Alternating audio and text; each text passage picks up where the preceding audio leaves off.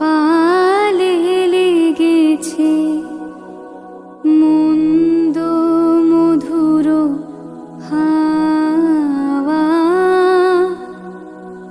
দেখি নাই কভু দেখি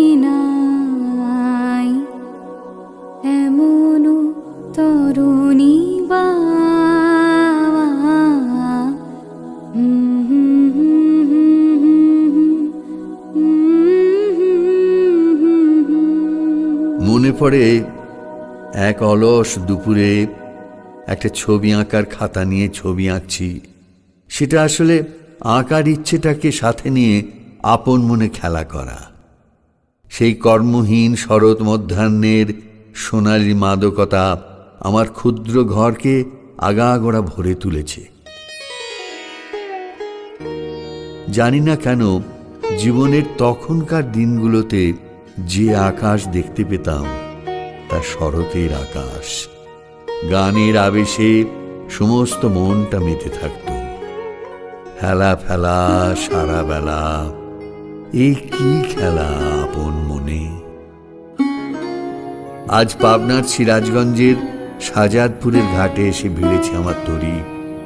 পথে আস্তে আস্তে ভৈরবীতে কীর্তনের সুর লাগিয়ে রচনা করলুম নতুন গান। গ্রাম বাংলার লোকায়ত জীবনের সংস্পর্শে অমল ধবল বালে লাগল মন্দ মধুর হাওয়া।